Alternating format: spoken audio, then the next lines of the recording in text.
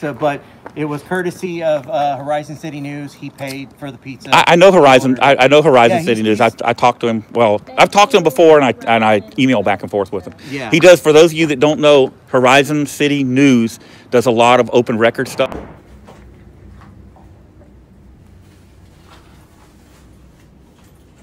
What are you doing? Oh, waiting to get up to the window. Huh? Waiting to get to the window. No, you can't. Oh, it's just a camera. It's just a camera. Hi. I need to do a public records request. Okay.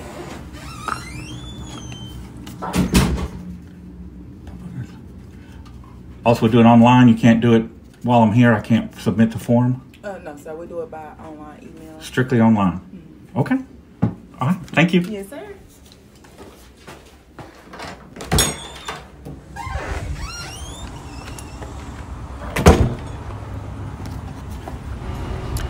Hey, David. This is Andre in Horizon City in uh, West Texas.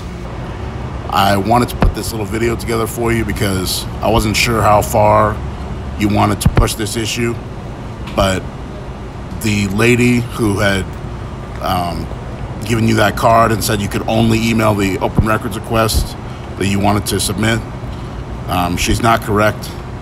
I don't know if it's only her I guess you had also gone to the police station too, and they, they did the same thing to you. Um, but basically, the the town that you're in, that town government, is not going by what state law says. Um, you don't have to use their form, and you don't have to send it by email. It can be done hand delivery, literally written on a napkin. Um, as long as it's legible and it's in writing, and it requests information that is in existence at the time. And you know and it follows all the other legal requirements of the Texas Public Information Act and everything's triggered. Um, you, you can hand it you can hand it any any piece of paper. You could get literally a cardboard box and rip off a piece of a cardboard box get a, a black marker and and write out a Public Information Act uh, request an open records request on a on a piece of cardboard. Um, there's no, you know, the, the the law is liberal is supposed to be liberally construed, and as long as it's in writing, that's the only requirement, the only general requirement to trigger the Public Information Act, and um, you know everything else has to be triggered as well. I mean, you have to be asking for information that's in existence, and and it can't you can't be asking for information that is automatically exempted you know, I mean, you can't ask for social security numbers of police officers and stuff like that. But in general, as long as you submit something in writing, um, that triggers the law. That triggers the Public Information Act. So watch the rest of this video. It's less than 20 minutes. And um, I, I compiled some videos from Authority Check, Justin Pulliam, and myself, and uh, also from the Texas Attorney General and um, you'll see what I'm talking about. Is that you know this has been an issue that I've been dealing with out here. Authority Check has been dealing with it a couple times down in in uh, South Texas in Odem, where he lives, and uh, I mean it's a statewide issue. All these government agencies, um, as usual, or, or what happens a lot of the time, I guess because it's human nature, is a lot of these government agencies they try to either bend the rules deliberately or out of ignorance, they just start making up their own procedures and rules that don't actually follow the law. So, so that's the issue. That's why I made this video for you, and for anybody else who wants to watch it. And um, I'll be in touch with you. And uh, thanks for everything you do. All right, buddy. Stay uh, stay safe out there. I'll talk to you later. Bye.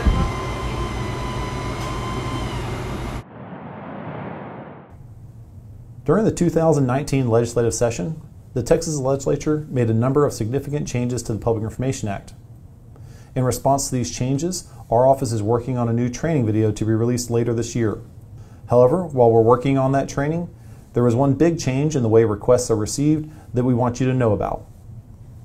Under the new law pertaining to requests, a person may make a written request for public information only by delivering the request to the Officer for Public Information or a person designated by that officer through one of the following methods United States mail, electronic mail, hand delivery, or any other appropriate method approved by the governmental body. This law replaces the previous law, which specifically permitted requests to be received by facsimile. The new law does, however, provide that a governmental body may specify any other appropriate method, including facsimile or electronic portal requests. Under the new law, Section 552.234, governmental bodies may designate a mailing address or electronic mail address for receiving a request. If the governmental body properly posts these addresses, then the governmental body does not need to respond to a written request unless it is received at one of those designated addresses, by hand delivery, or by one of the other methods specifically approved by the governmental body. Hello. Um, I'm the one that sent the uh, email about the record open records request, Okay. and then it got denied. Okay. That didn't sound good. Um, but um, but yeah, I, I was told over the phone that I, it was it was denied because it wasn't filled out properly. Right, right. Um, they sent me another email. Then I, I, did you get my email that I had sent you? Um, Um, they said that it was um, not complete. I don't know Correct. if you can. Yeah, I think I think that's what it was. It said it wasn't complete. Right. Uh, and then over the phone, I think uh, we had discussed that um, uh, it, it needed to be signed. It needed to be. Yeah. Well, well the thing is, it's an open records request uh, under uh, Texas Code, Texas. Uh, Texas Government Code uh, 524, I, I don't have to provide my information to get obtain the information. So i i with the information I put on there, I could put a fake name for all, all for everybody, and it would it wouldn't matter. Hi, sir. Hello, officer. Hi, how you doing? I have my records request ready. Okay. Where is this? Uh, Officers Capital, Texas request. Yes. I request a new DVD written policies or guidelines regarding. Okay, yes, those they can be. Uh, I can provide you those. You need to go to the uh, public information office. Um, no, sir, you're incorrect.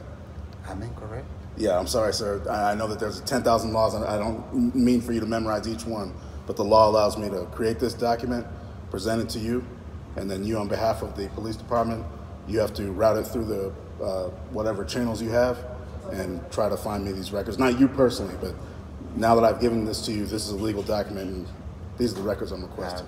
yeah, I don't. I don't release any any records. No, I know that, but you work for the El Paso Police Department. That's correct. Yes. Okay, so this is a legal document. These are the records I'm requesting. It is a. That's not a legal document. What do you mean? Well, this, even though it's a sticky note, it's in writing, and I'm requesting records under Chapter 552 of the Government Code. Oh yes, you can get that from the uh, from any library. Get what from a library? The the record No, no, no. I'm asking for records from this police department. from my police department. Yeah, the, my public information office. No, sir, that's not how the law works. Yeah, that's how it works. I I have a video I could show you if you'd like. Sure. Okay.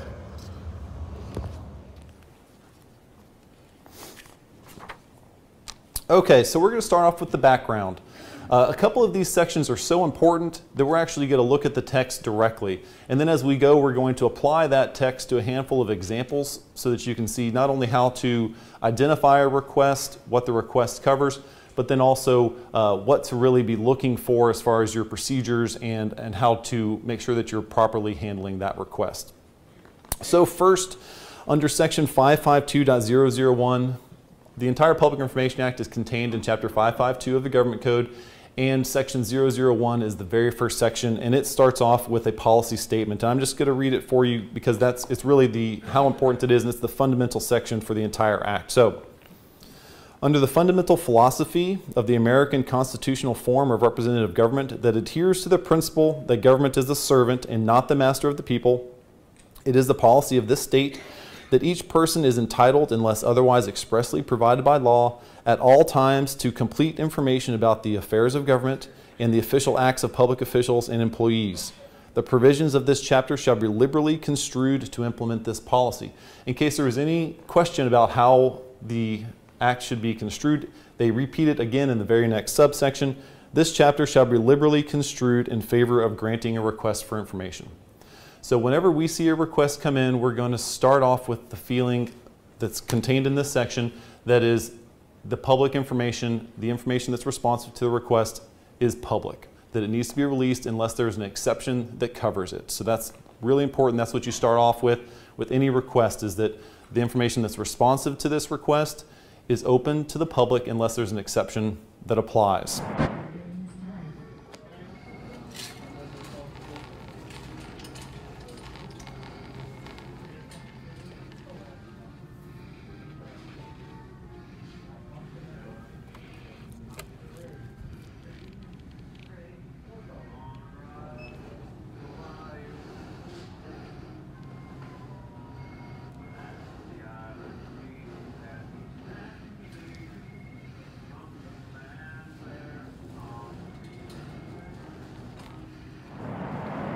Um, so that's what that's about. So if you could just put that up the line so I could get those records and everything, I'd appreciate it. Look, man, I don't know where this goes, but if you want, man, just wait till they're they're open again on Monday. No, I just want to get it in though in person. It's easier that way. I have it on film. Have you seen the um, YouTube video about who got the Harris County Sheriff?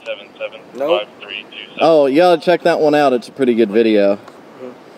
Could So, you just okay, make so sure that gets up to where it needs to to go? go? Where do you want this to Wherever whoever handles it. I don't know. Okay. They're So they're what I would closed. recommend is that you go back on Monday to give it to somebody. I dropped it off to a sheriff's office employee. I'm gonna, I'm gonna give it. I'm gonna give it. Do you have a, a badge number? They don't have badge numbers on your actual badges. Uh, I'm just Deputy Gloria. If you can see my name. Right, Deputy Gloria. Is there a, a a ID number or anything? A badge number? Robert. I'm not required by law to give that to you, man. Okay, just in case there's other multiple Deputy Glorias. Oh no, I'm the only one. Okay. Yeah. But so you're only Sheriff Troy's sheriff office operates by you only give to the public what you're required by law to do. I'm sorry. Were you? Were you You're not going to do anything beyond what the law specifically requires you to do, I mean, such as tell me, you know, your whatever identification number you'll have. Mhm. Okay. Um, so by law, the sheriff has to give me that information promptly now. okay. Well, I'm not the person to go give this to. Okay. Because to You- be honest, the sheriff's office has received it. The sheriff's office has received it, and um, they're going to want to start getting to work on that. Okay. So you want this to get to who? So it's a Public Information Act request, and when it's delivered to an employee of the sheriff or the sheriff himself, Well, um, on here if you know where he is, I'll go give it to him. It, it says Um, here, dear Sheriff Nehls or agent of officer for public information. So you would be the agent. I'm not public information. So he's public information. Everyone else who we have an public employee. information officers. Right, I understand that y'all have those cute titles and everything, but that's different than the law. That this is the law. See, that's just made up we stuff. have divisions. Right, I get that, and that's kind of just like made up fake stuff that that the office does. This is what the state statutes say. Okay, so you enforce the state statutes, don't you? Yes, the state penal code. Yes. Okay, uh, so but but oh, oh, you don't do the other statutes, only the penal code, safety code, traffic code, a lot of things. Look, government here's, code, Here's the thing. government code. This doesn't go to me. If you want to go through the correct ways to get this to where you want it to go, I would suggest coming back on Monday and going to the records lobby and then saying what you want to happen. I've turned in my request. If you need to call a supervisor or someone who can help you, I, I guess they have not done sufficient training about public information with the deputies. That's unfortunate for me.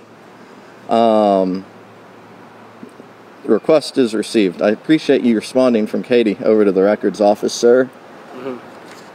Uh, so here's the thing: our supervisors, they're not here right now. They're out taking calls. they're, they're out there doing their job, same Oh. as me.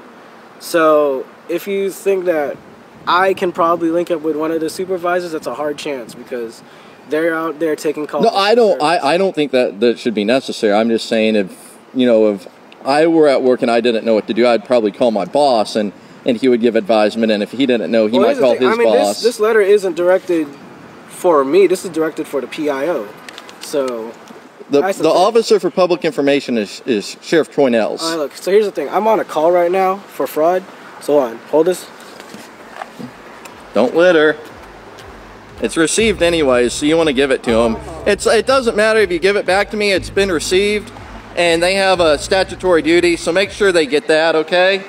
Please make sure they get that, or he'll get in trouble. Have a nice evening. Last year, the supposedly freedom loving, quote, conservative, unquote, Republicans in the state of Texas made it even more difficult to submit requests to access public information. It's my right, it's your right to access the information held by the government and Sheriff Troy Nehls, but the Republicans are trying to make it very difficult. Now, corrupt government officials are not required to respond to a written request for public information unless the request is received at a specified address by hand delivery or by another method of their choosing. However, that hand delivery remains the tried and true secure way to submit your request. And that's just what I did. But you are not required to create new records. There's no requirement to answer questions. So if a if an entity asks you a question, you're not, you're not required to respond to it. You're only required to make a good faith effort to relate that question to records that you maintain. And there is no requirement to perform legal research. So you're not required to receive a Public Information Act request, forward it to, to your legal department for them to provide an answer or, a, um, or legal research on. So those are the limitations on what you're not required to do under the Public Information Act. That's about it. There are no magic words required. They do not have to say this is a Public Information Act request. They do not have to refer to the government code. All that they have to do is submit something in writing that asks for information. Uh, it can be typed or handwritten. Uh, we've seen them in all forms. Uh, email is the most common now, but we're still seeing them come in um, written on a napkin. And you cannot require the use of a specific form to submit a request. However, it's very important to note that you can recommend and provide a form. Many requesters um, do not submit Public Information Act requests very often, and so they are very appreciative when a form is provided and it can help you and it can help them. For example, when requesters submit something uh, in hard copy, they may not provide you with a phone number or they may not provide you with an address. And that type of contact information is really critical for working with requesters on getting them the records promptly. So it's a good idea to have a form, but you are not permitted to require the use of the form. A requester can submit a request in any form as long as it is in writing.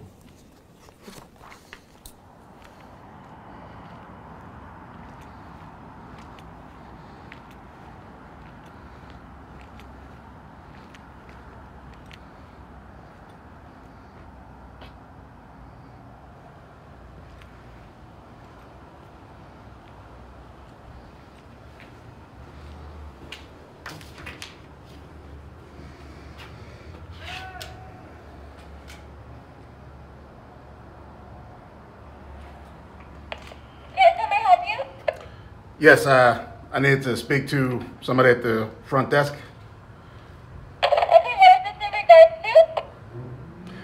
Uh, I just had a document to drop off. Can I have your name, please? Andre?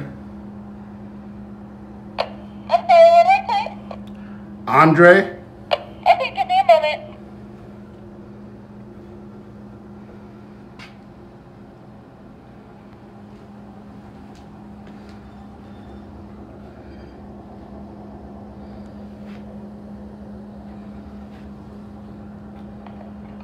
Okay, go ahead, come in. All right. Let me check your temperature real quick, okay? Sure.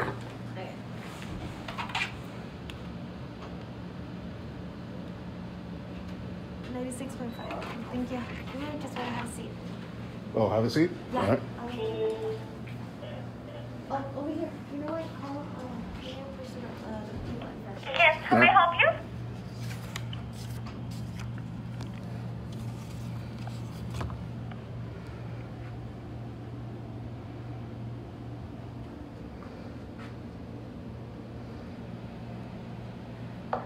Okay.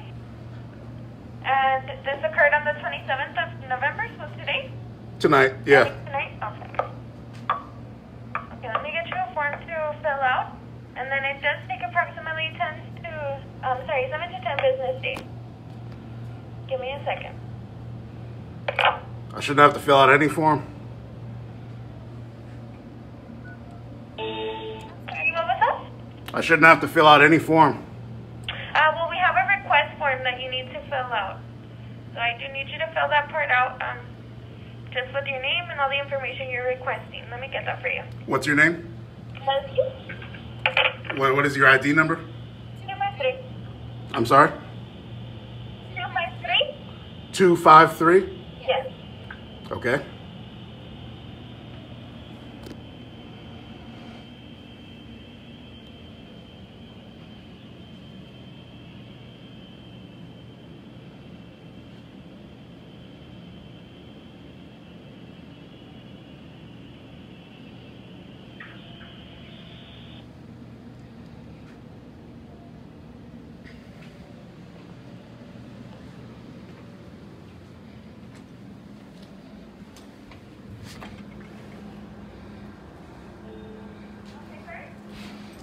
Yes.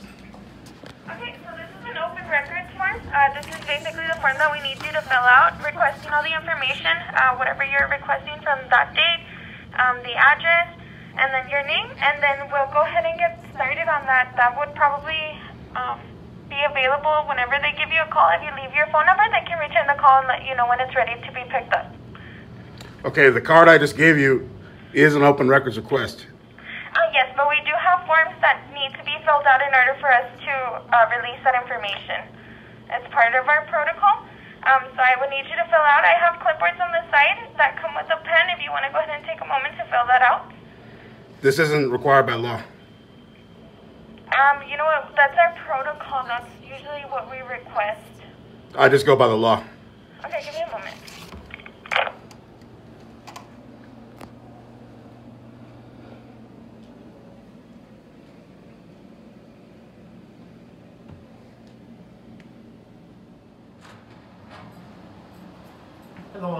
Hey, Sergeant How can I help you? I just handed over an open records request form to one of your uh, colleagues. Okay. Well, here's what you need to do. You need to take this and fill it out and present it just like you always do with our uh, office. And we can't just give that to you tonight. No, and I'm not demanding that, but what I am saying is that all that's required by law is that index card that I handed to her. But can you fill this out? It's not even necessary. That index card is This is our protocol. It's not what the law requires. Well, this is our protocol. And this is what I need to have you fill out. And then you go through our secretary and our administration, and they'll provide the information for you just like they always do. I'm not even trying to be disrespectful or condescending to you, Sergeant, Right. but I'm making a stand about something that's in the Texas Government Code. Well, then here's what I'm gonna do, Okay, okay? I'm gonna give this back to you, all right. and you can come back on Monday and present that to our secretary when the chief is here, and you can talk to them about it. Because I'm not being disrespectful either, but this is our protocol. All right, well, I, I, I'll walk out of here right now, but I'm just letting you know that, that this right here triggers what's in the Texas Government Code. That's fine, this is our protocol, so, you know, no disrespect, Andre, we've dealt many times. Right. But you can come back on Monday when our administration is here and you can present that to them and present your open request. All right. Okay? Have a good night, Sergeant. You too, sir. Happy Thanksgiving. Oh, you too. Merry Christmas.